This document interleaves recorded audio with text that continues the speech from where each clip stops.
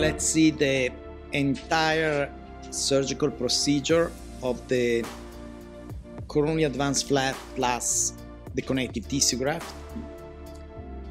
The cement enamel junction has been restored with the composite restoration first.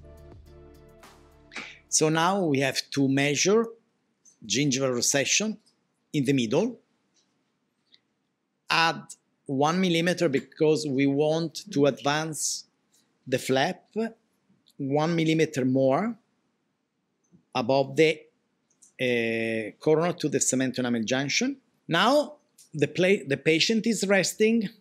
We place our graft on our surgical drape. It should be a rough surgical drape, not smooth, otherwise there is risk of movement of the graft on the drape. And first of all, we check the inner aspect of this graft from the presence of fatty and glandular tissue. It's easy to recognize the fatty tissue because it's yellow. It's less easy to recognize the glandular tissue, but it's easy to remove because it's very, very loose